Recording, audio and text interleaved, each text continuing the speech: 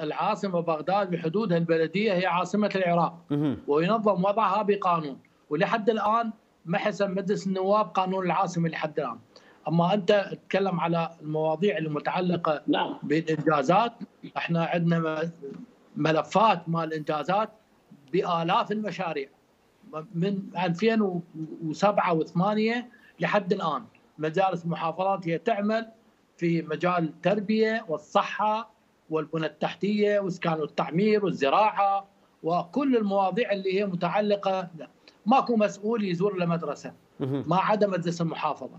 ماكو آه، آه، مسؤول يزور مستشفى أو مركز صحي عدا مجالس محافظة. طيب يقول لك اكو تداخل بالصلاحيات بينكم وبين الوزارات. عندنا مجلسات في كل شارع. دكتور. اللي هي المجالس البلدية.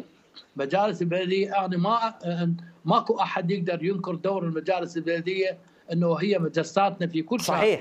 تعطينا الإنجاز تعطينا الاحتياط لكن دكتور ما عندكم تداخل بالصلاحيات بينكم وبين المؤسسات الأخرى؟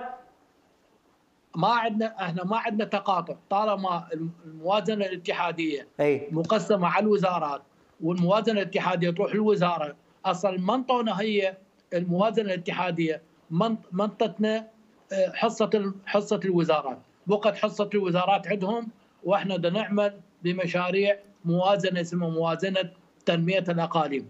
هذه اللي هي المفروض أني آخذ 23% موازنة الاتحادية لبغداد. كون بغداد 23% من سكان العراق هم ينطوني 1.5% من موازنة العراق. وهذا ظلم. يعني كردستان يأخذون 17 وإحنا ما نأخذ 1.5% مع يعني مع احتراماتي الكردستان هي جزء من العراق وهم يقومون بمشاريع ونحترمهم. في وضعهم واستحقاقاتهم. بس إحنا هو هذا استحقاق لما يقول لي لما يقول لي أستاذ عدي أنت ما انجزت شيء ببغداد؟